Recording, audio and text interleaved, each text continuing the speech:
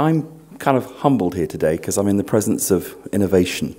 And I'm, I'm really just a kind of a plodding high street guy. Um, I manage places, that's what I do. Um, years ago, I realized the importance of place and various things happening in it when I was in Glasgow at the European City of Culture year 1990, which really dates me.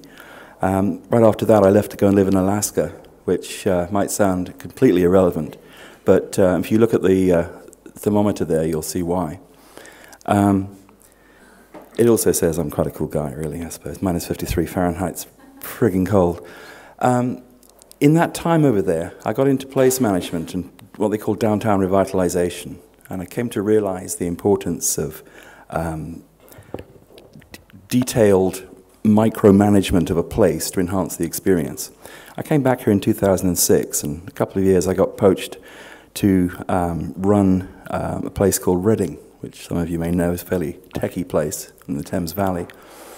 And while I was there, I started to, it started to dawn on me that the small businesses that I was mentoring as part of my job uh, in running a, a, a busy city centre were the wrong side of a digital divide.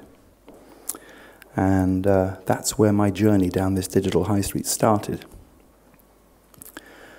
So, here we go. Um, we're about to kick off this year some really necessary work. I'm not going to call it interesting work because there's nothing radically new about what we're doing. But it's interesting. And it's interesting, I am hoped, I'll explain it to, to the, the audience here today. It's interesting because it needs to be done. If it doesn't get done, your job's going to be a lot harder.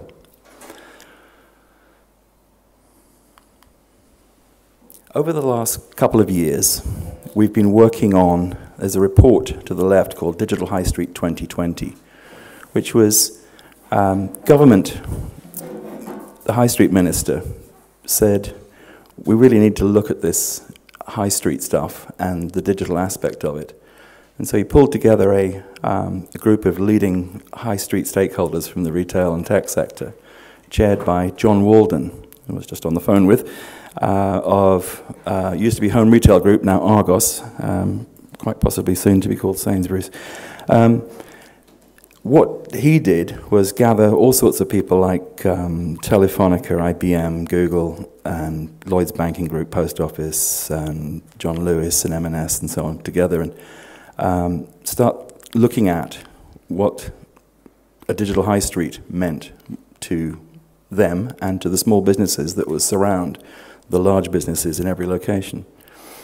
Out of it came a report, four key recommendations, looked at infrastructure, and you know, anybody who lives rurally will know how bad infrastructure is in this country. Um, we, we looked at skills and a massive great skills gap. We looked at the need for coordinated guidance to people. Who do you go to if you don't know who to trust? Everyone's trying to sell you something. Who do you talk to who isn't? So we tried to tackle that. Then we thought about measuring things. What does success look like? How do you know if you're doing it right? So that report put four recommendations forward. The middle report there um, is a report that was commissioned by um, Innovate UK, which was essentially a okay, you've come up with this idea for the high street. Now, one of those ideas is to go and form um, a high street digital hub to provide that trusted guidance. But what's your evidence of need for this? Why don't you go out and ask a few people? So we did, all over the country. My little camper van and I trolled all over the place, and we interviewed and focus sessioned, and it was wonderful. And um, we came back and wrote a report, and there it is, and it's about to be published next week. And the report, by the way, seriously endorses the need for this coordinated um, guidance for towns and cities.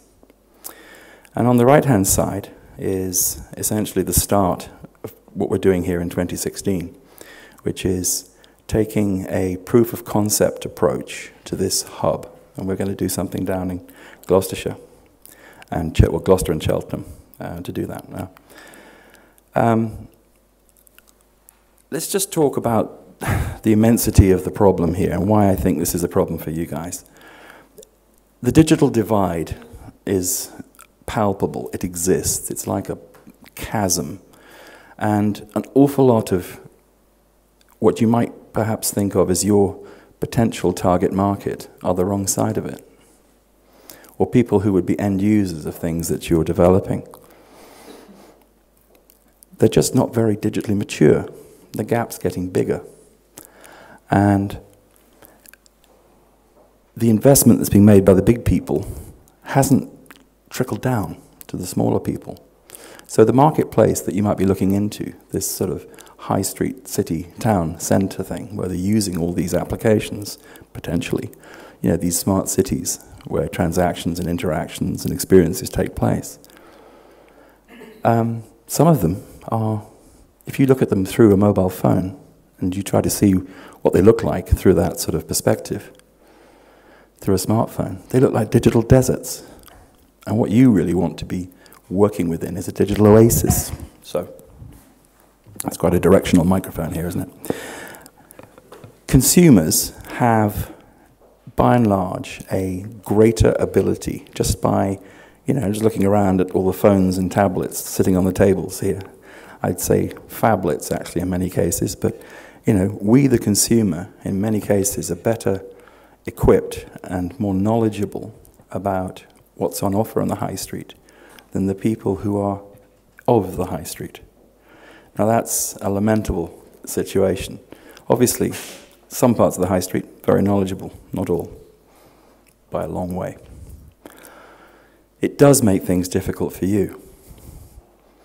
So, those barriers, what's being done about it? Oops, wrong way.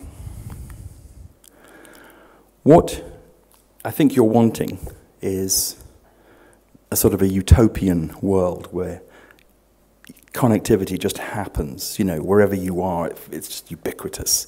Speed, you know, the need for speed.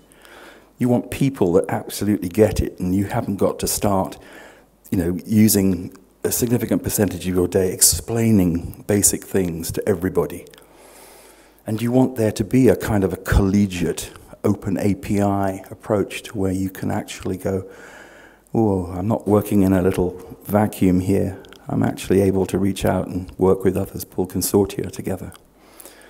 And data, you know, how much, how much, how much of a barrier is closed data to you all? Sure. But that utopia is not here yet. We've got to somehow work within the confines of reality. So in order to try and move things along, the reality is that the mainstream needs to catch up. So I come back to that phrase, the trusted guidance. If town and city centre managers, if tourism managers, if economic development officers, all these people at the local level who are in positions of procurement authority, had a greater understanding of the art of the possible, of what you're all working on, if they could, if they could envisage what you do in action, wouldn't that be an easier world to live in? Wouldn't it be a great place? Wouldn't this be a great country as innovators to be in if you had a really receptive marketplace? It's not receptive enough for you, and certainly not for me at the moment. So, here's a basic assumption. Every place, every place that offers a good experience is usually, that experience is there because somebody's managing it. Okay? The job I used to do was a business improvement district manager, a bit like a private sector version of a town centre manager. And I dealt with everything from chewing gum, heroin addicts, you know, traffic stuff, parking, cleaning, flower baskets, Christmas lights, food festivals, inward investment, business retention, visiting foreign delegations, hosting and touring. I mean, I did the whole gamut of things, even touring politicians around when they wanted, uh, you know, good camera uh, outputs. And those people are critical. I call them shepherds because in every place, they're the shepherd that has a flock. Now, one or two of you know my little line here, but Mel Gibson in Lethal Weapon had a wonderful phrase where he said, I'm going to make like a seagull and get the flock out of here. Okay, you know what he meant, right? Well, I'm saying, as shepherds, all those shepherds out there across the country in the 1,200 managed, managed locations that there are, what's their job? Get the flock online, right? And you know what I mean by that. And that's really how simple it is. The problem is, there's this confusion. The phone goes, I've got an app. Brilliant. Another one. You know? If, you, if you're at the end user end of things, the phone goes constantly with people saying, I've got it, I've cracked it, it's yours. How do I know what you're talking about? You know, I get people trying to sell me stuff down the phone all the time. So, we've got to raise the level of digital maturity. And in doing that, that can't be done from behind a desk, can't be done by remote.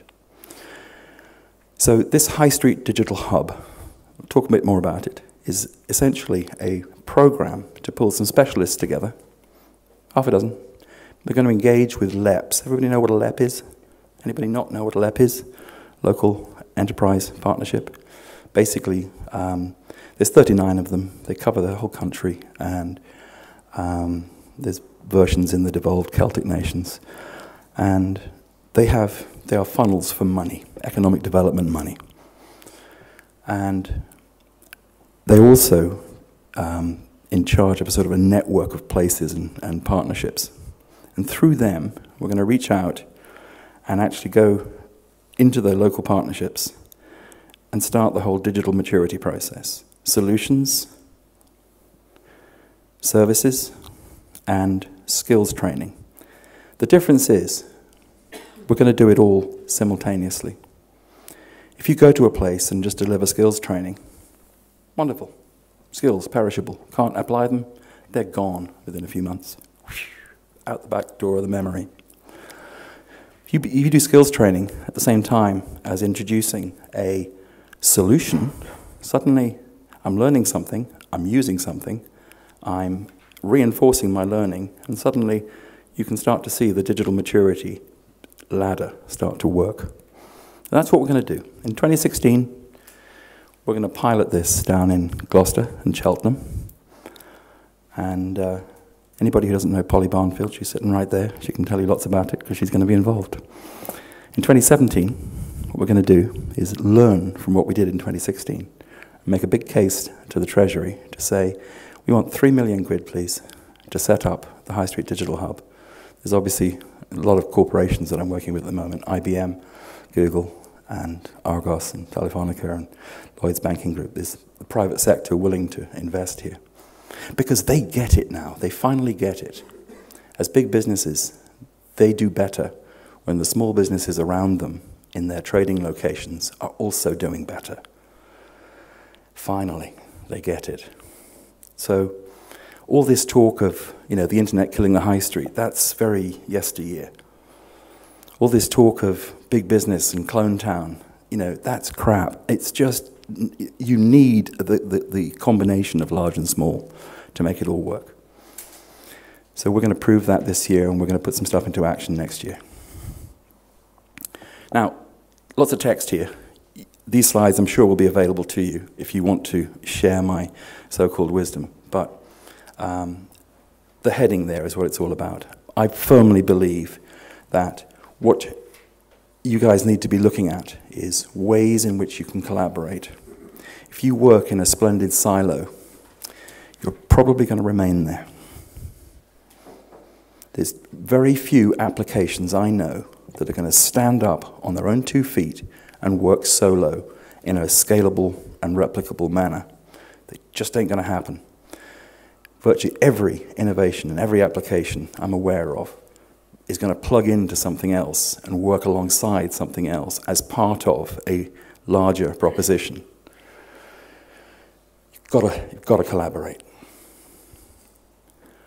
This hub process would be imagine a, an online portal that didn't endorse any one of what you guys are doing, but actually helped explain all that you're doing. So, in other words, it's as much a tool for you as it is for the high street user. In fact, you can see it's kind of a connection point between the two. So, the problems that you guys face with trying to find those end users, hopefully, this hub will go some way to alleviating that route to market challenge that I think you're all probably facing.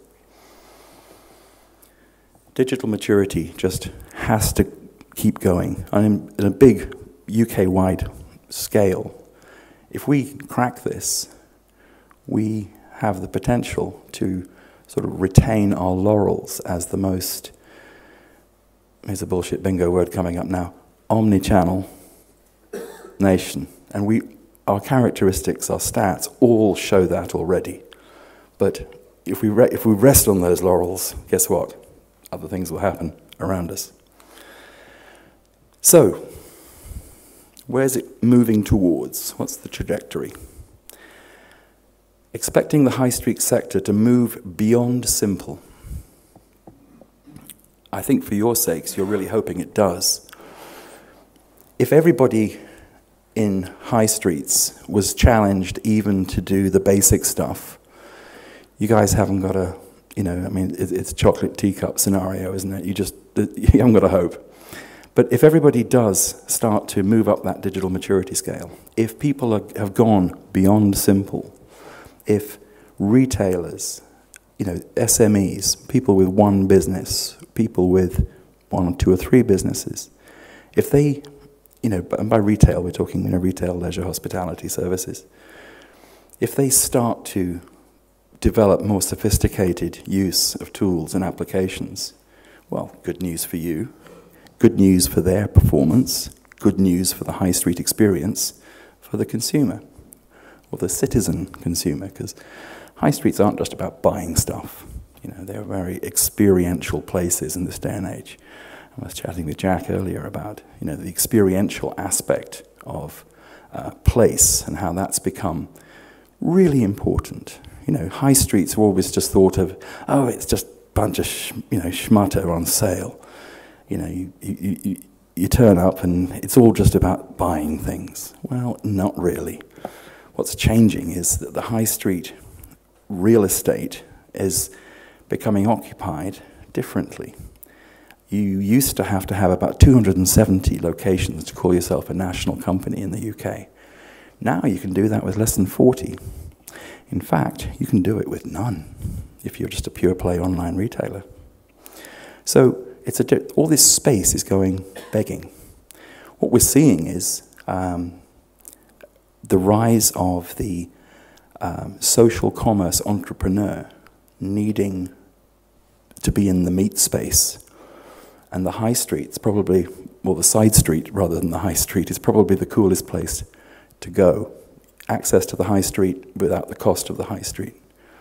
We're starting to see this sort of thing happen. We're starting to see a lot more non profit enterprises, um, play creches, um, not for profit gyms for senior citizens. We're seeing um, pop up everything.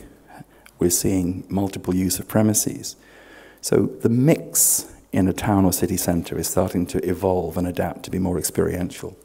And people, the citizen consumer, is ever more demanding about their experience, and they want that experience to be a physical and a virtual one. So they're hungry for that content to flow. So all the channels and all the mechanisms, whether it's online, whether it's stuff to do with proximity systems and networks, it's all working to a much higher set of expectations from the consumer, and it will continue down that road. So expect the high street sector to move beyond simple. I think that's, a, that's good news for you. Don't expect central government to be able to continue funding innovation in the same way as today. Just been through the budget. You know, the Chancellor is doing a difficult thing, which is balancing the books. Like it or hate it, it's happening. The public sector is shrinking. Depending on what happens in 2020, it may carry on shrinking. So, where innovators have been used to grant like um, sources of finance and you know that sort of the vestige of the dot com and the noughties sort of um, greedy venture capitalists throwing money at you because they don't really understand what you do but they think it might make money one day. Those days are gone. It's a different world. You've got to prove your value. You've got to show the value. So you know, standing on your own two feet, paddling your own canoe, however you want to do it, very important. And guess what? Not doing that alone is probably an easier way forward. Collaboration. Consumers will continue to set the pace with their expectations, and there's nothing that's going to change there. The more that those devices, those smart devices, start to offer um, interaction and experience, the more consumers are going to embrace them. You think how um, from, was it 2007, 2008 when the iPhone came along? Wasn't that long ago, was it? And just think how much that has rocked our world. Um, I'm looking at some of the most amazing you know, gizmos on, on the tables in front of people now, and I'm going, they're not really phones. You know, yeah, they can make phone calls, but they do so much more. And they enable so much more. Um, that isn't going to change. I think the whole Internet of Things is going to start to become, um, you know, from a, a rather uh, esoteric uh, thing that nobody really can define. I think IoT is going to become, if it hasn't already, exceedingly mainstream. I think connected devices will start to become um, so much like running water, electric light, oxygen. You know, we're just going to expect them. And the places that we go to, we're going to expect them to be connected. I hate that word, but we're going to expect them to be connected. And a place that isn't connected, it's either, it's either got to be some pretty freaking awesome wilderness or it's got to be connected. That's kind of our expectation. I don't mind going up on Exmoor and cooking chorizo and beans at the weekend and tweeting about it because I'm proud of my ability to unplug at the weekend. But boy, come Monday, you know, when I'm off the moor and working, I need to be connected. And every place that people go, they have that expectation. And it's not just the access technologies, you know, the prox proximity technologies, the, the, the, the, the beacons, the emerging use of beacons, the maturing use of beacons, you know, the geolocation, the, the use of RFID in the supply chain, the use of NFC in wayfinding, and so much more. All of this is going to become so much more mainstreamed. We've all seen Apple Pay um, sort of roll out, and it's starting to embed. People, oh, it's Apple, so they were the first with the iPhone. They're the first with a you know mainstream mobile wallet. There are other wallets available, of course, but um, they're the ones that are going to take it mainstream. Android Pay and Samsung Pay are not very far behind. It won't be too long before wallets will actually have a point to them other than just paying for things. And we're going to start seeing that sort of integrated interface emerge in our mobile proposition to consumers. And guess what? Those consumers, those citizen consumers with their smart devices and that all integrated interface, where are they? Towns and cities. That's where they interact. It's the same over centuries, it hasn't changed. How we interact has changed, what we interact with has changed. But essentially, towns and cities are pretty critical things. So, my suggestion to all of you is in developing your product, understand who your customer is truly, you know, and who, who are the influencers, influencers on your customers.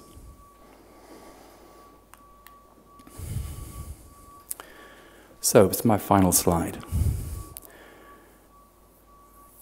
I think I've touched on working collaboratively enough. But again, something I learned living in the subarctic for 15 years, you've got to look after yourself as well. You've got to be, you know, responsible for your own actions. This is not a nanny state, much as I thought it was when I landed here in 2006. It's not. And you, you guys prove it because you're getting up and doing it every day. That point about getting to know who your real customer is Do you honestly know who the end user is? Or are you just developing something hoping that someone's going to come, along waving a six or seven figure check at you? If you don't know who your customer is, might have a problem. But do come and talk to me about it. Be agnostic. That's really quite simple, isn't it? I think everybody here is already signed up to that particular religion. Be agnostic. You know, it's not about an Android system or an iOS system or a Windows system or anything else. It's, it's, it's agnostic that we want. We, the consumer, just want it to work. We couldn't really give a monkeys about whose system we're using. Networking, what are we doing here today? You know, it's really valuable. Every meeting I go to, that word keeps coming up as being part of the value of the purpose of gathering here and traveling. By the way, I left here. I left home at 3 a.m. this morning to get here. So, you know, traveling to get here um, it's because I know the value of networking. I explained about the hub. I'll be around for a part of today. Please do, if you've got questions, come and find me afterwards. And this is just a personal thing. Do, please, stay cool. It's rather nice having a cool premises like this to work in. A cool location like, you know, Wired Sussex Digital Catapult Centre it's great, it's inspiring. Um, when I was reading Richard Florida's books about the creative class, I envisaged buildings like this adapted for uses like this. And it's so good to be a part of it. So, that's me.